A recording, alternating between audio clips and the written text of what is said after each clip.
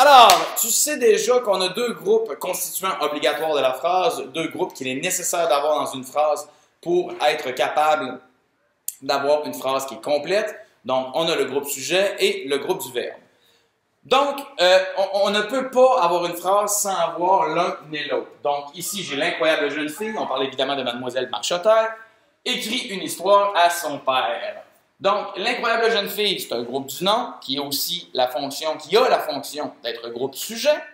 Donc, l'incroyable jeune fille, déterminant plus adjectif plus adjectif plus nom commun, ça fait un joli groupe du nom dont la fonction est d'être groupe sujet.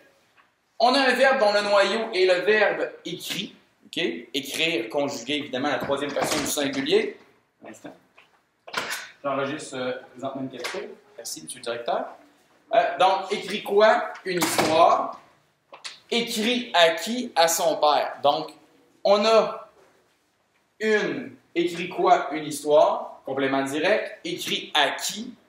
À son père, complément indirect. On parlera des compléments directs et indirects à un autre moment dans le groupe du verbe. Juste se rappeler que pour l'instant, ici, on a les deux constituants, les deux groupes constituants obligatoires de la phrase, que sont le groupe sujet et le groupe du verbe.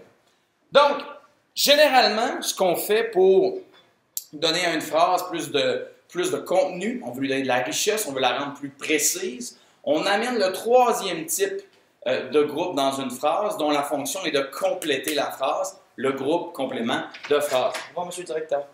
Donc, ici, j'ai trois types différents de groupes complément de phrase. J'ai aujourd'hui, qui est un groupe complément de phrase de temps, en sifflant, qui est un groupe complément de phrase de manière, et j'ai pour lui faire plaisir, qui est un groupe complément de phrase de but. Nous verrons plus tard ensemble qu'il y a différents types de groupes compléments de phrases. Donc, aujourd'hui, virgule, l'incroyable jeune fille écrit une histoire à son père en sifflant pour lui faire plaisir. Notre phrase est beaucoup plus précise. Ce qui est bien avec les groupes compléments de phrase, si tu veux vérifier que tu as un groupe complément de phrase dans ta phrase, euh, c'est qu'on peut le déplacer comme on veut. Alors, on change de place? En sifflant, virgule, incroyable, jeune fille écrit une histoire à son père pour lui faire plaisir. Aujourd'hui, on change de place. Pour lui faire plaisir, virgule, l'incroyable jeune fille écrit une histoire à son père aujourd'hui en sifflant. On change de place. Ah, dans le milieu, c'est une très bonne idée. Toi, tu es au début.